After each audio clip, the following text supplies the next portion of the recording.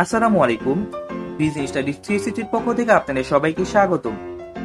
আজকে আমরা আলোচনা করব ঢাকা বিশ্ববিদ্যালয়ের সি ইউনিটের হিসাব বিজ্ঞানের ক্ষেত্রে কোন কোন টপিক হতে কোশ্চেন এসে থাকে। অর্থাৎ এই টপিকগুলো আপনারা আয়ত্ত করলে ঢাকা বিশ্ববিদ্যালয়ের সি ইউনিটে আপনারা একশো পার্সেন্ট কমন পাবেন। এই পর্যন্ত ঢাকা বিশ্ববিদ্যালয়ের সি ইউনিটে যতগুলো এক্সাম হয়েছে, এই টপিকগুলো বাইরে কখনোই কোশ্চেন হয়নি। তো আমরা বলতে পারি যে এই টপিকগুলো আপনার আয়ত্ত করলে আপনারা সম্পূর্ণ কমন পাবেন।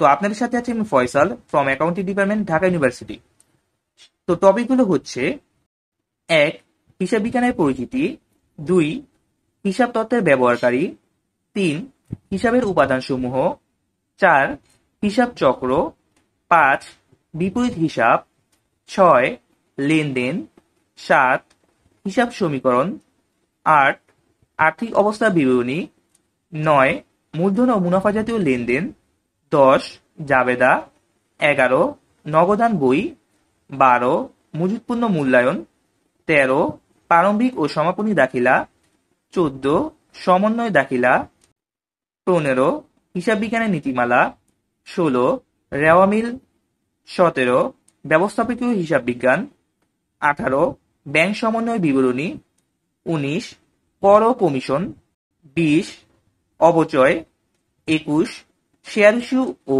লভ্যাংশ সংক্রান্ত দাখিলা, বাইশ, অনুপাত বিশ্লেষণ, তেইশ বিকৃত পণ্যের হিসাব নিকাশ, চব্বিশ, ভান্ডার থেকে পণ্য নির্গমন পদ্ধতি, পঁচিশ, একতরফা দাখিলা পদ্ধতি, ছাব্বিশ, উৎপাদন ব্যয় বিবরণী, সাতাশ, অংশীদারি ব্যবসায় আটাশ পুরিন সঞ্চিতি, উনত্রিশ অব্যবসায়ী প্রতিষ্ঠান এবং তিরিশ হিসাব বিজ্ঞানের বিভিন্ন সংস্থা ও এর কাজ।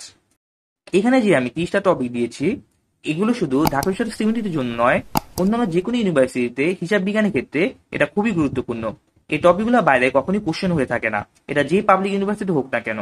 তো আপনারা ভালো করে এই তিরিশটা টপিক আয়ত্ত করবেন এবং এই তিরিশটা টপিক সম্পর্কে আমি আস্তে আস্তে ভিডিও তৈরি করা শুরু করব।